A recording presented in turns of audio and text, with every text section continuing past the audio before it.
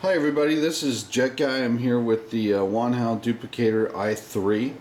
Uh, I want to talk about a Y-axis mod that I did to the build plate. Um, basically one of the things is the stock system uses the screw and then that just goes through the uh, aluminum heated build plate and then they, they put the washer on the bottom side.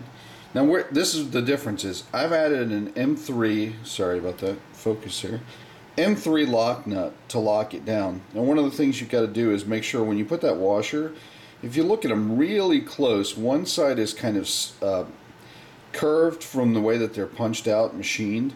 You want to put the kind of curved side, non-sharp edge towards the, the circuit board because you don't want to cut the traces there.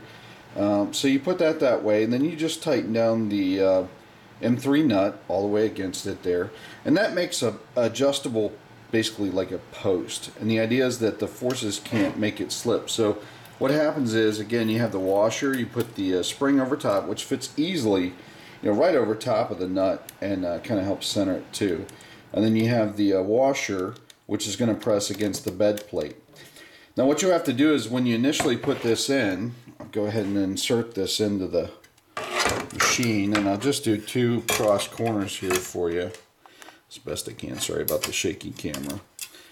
Uh, so what will happen here is if we put the washer in on this side, you can hear it, at first it kind of binds. So what you do is you simply just put it together and then run it up and down a couple times like this.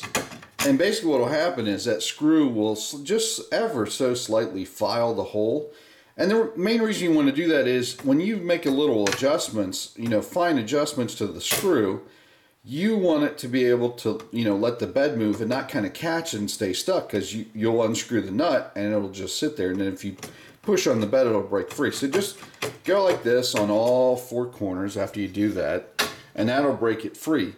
But the idea is that when the, uh, the actual y-axis moves, before uh, because the screw wasn't held in rigid to the plate or to the lower base, uh, it could kind of shift and rock back and forth. And this should eliminate any of that shake now. Uh, it's a positive drive, so little, the, the, the lower base plate of the y-axis pushes against that, that post that we've now locked into the aluminum and uh, and moves it forward. And this is really simple. All you need is three M nut, M3 nuts uh, you know, I use lock nuts just because I like the security of them and they're cheap. I bought a hundred of them off Amazon for like six bucks, uh, you know, for various projects. But uh, this this tip could really make a big difference in your y-axis.